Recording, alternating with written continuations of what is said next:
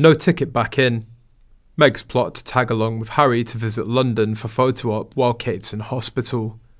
Royal family fans were shocked this month when Princess Catherine was hospitalised and underwent abdominal surgery. Nobody was more shocked than Meghan Markle and Prince Harry, though, who were the last ones to learn about anything happening at the palace. Is this the chance Meghan Markle's been waiting for? When Meghan Markle married Prince Harry a few years ago, she learned the hard way that there was only room for one future Queen of England.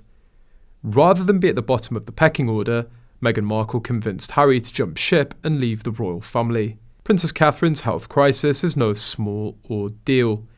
It can take months to fully recover from abdominal surgery, plus, she's going to be on strict bed rest when she does leave the London clinic, so that her abdomen can heal.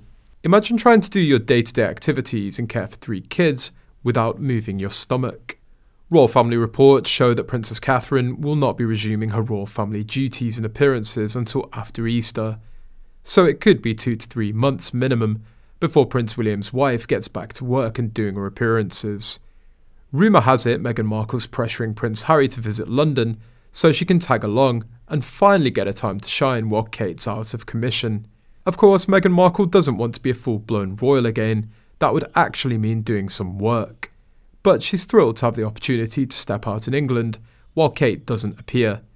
After everything Meghan Markle did, she's delusional if she really thinks the royals will welcome her with open arms because they have a spot to fill in their photo ops. Even if Catherine takes years to recover, they'll wait for her to recover rather than get caught up in Meghan Markle's web of deceit again. Recently, Meghan and Harry are trashing the royal family in an attempt to raise their public profile. The problem there is, as a pair at the moment, they're not succeeding, and I see this visit to Jamaica as a bit of grandstanding, which has specifically been planned because they do absolutely nothing which isn't planned in advance, very, very carefully.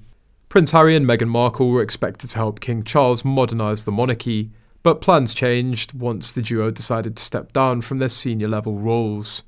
The thing is with this, that's why Prince Harry was called the spare, so they could call on him at times like this when they'd need him to step up to the plate, Lizzie Cundy said on GB News. The former Bond girl was friends with Meghan before she became a working duchess, and she's been critical of the Suits star since she left the UK.